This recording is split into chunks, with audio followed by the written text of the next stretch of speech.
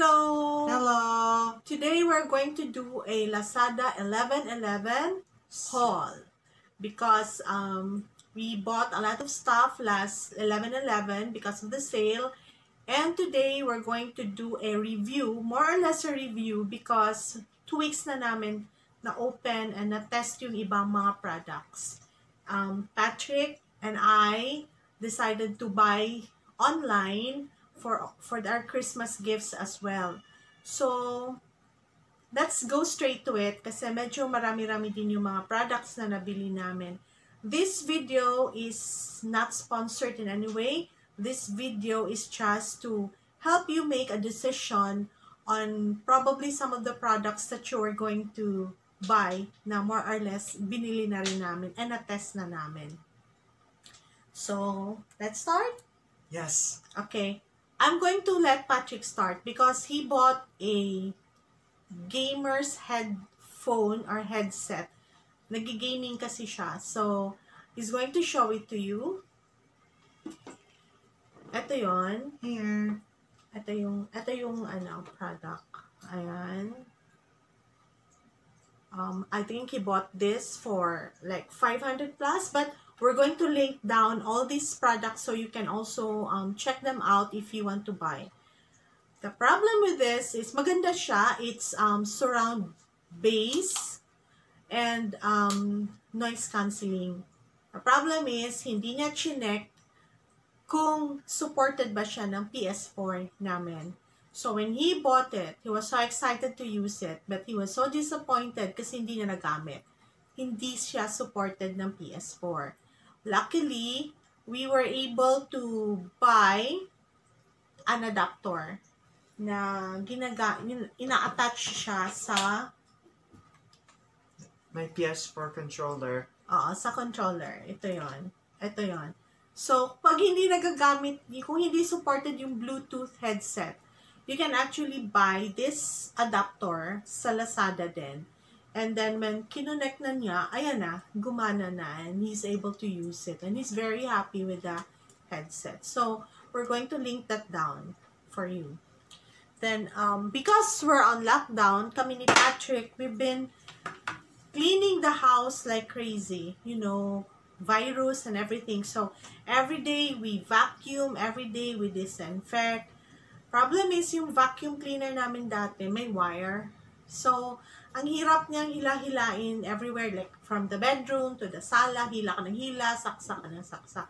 So, we saw this from some of the vloggers that were recommending this handheld vacuum. This is actually, pag tinignan mo siya sa Lazada, nakalagay Xiaomi, Xiaomi, Xiaomi, pero meron pala siya ano, Xiaomi Shunzhao.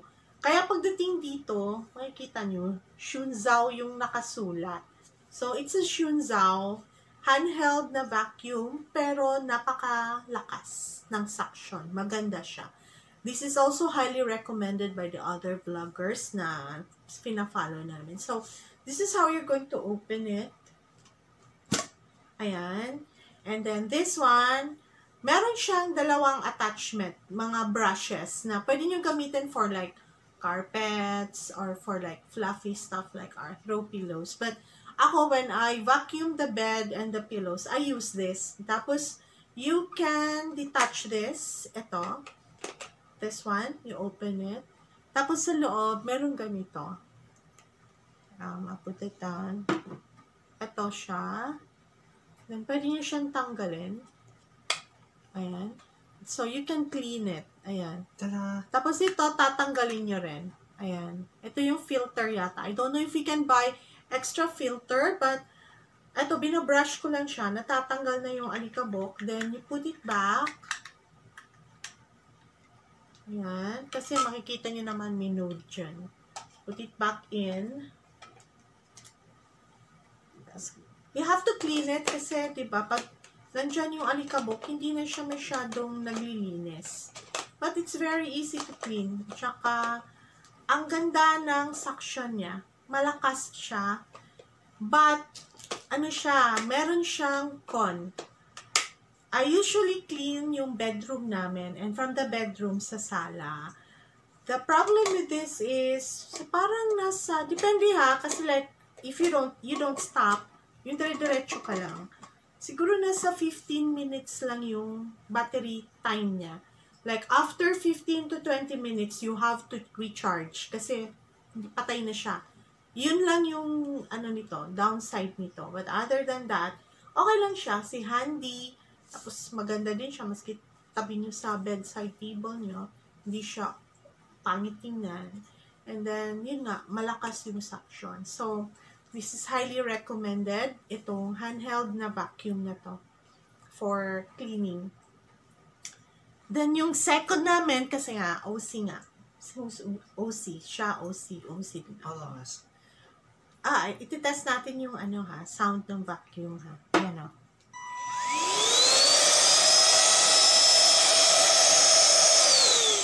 Diba? Ang lakas. So, yan. Sulit. This one naman, the, the, we also bought another vacuum kasi nga OC. This one we use to clean our keyboards. Keyboards at saka minsan, di ba yung like window sill, yung mga sulok-sulok doon. Hindi na yan pwedeng ganunin ng vacuum eh.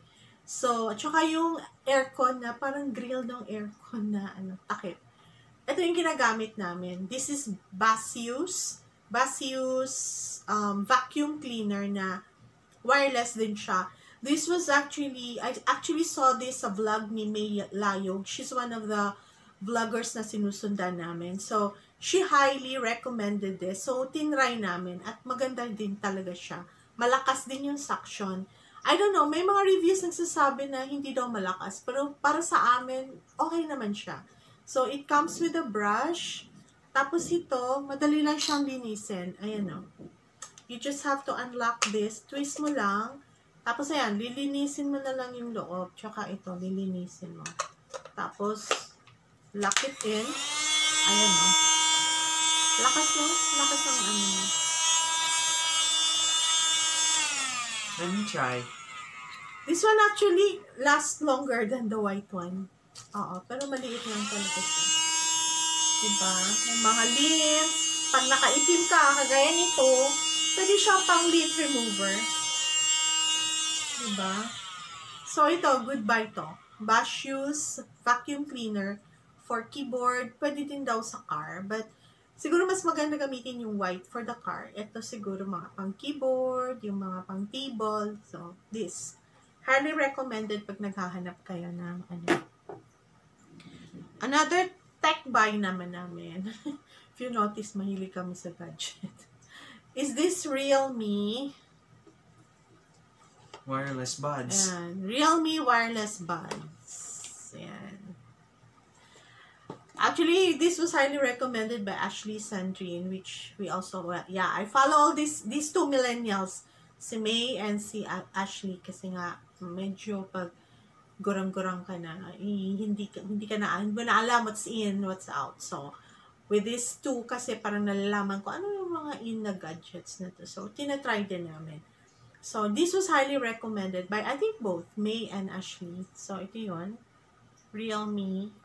Maganda siya.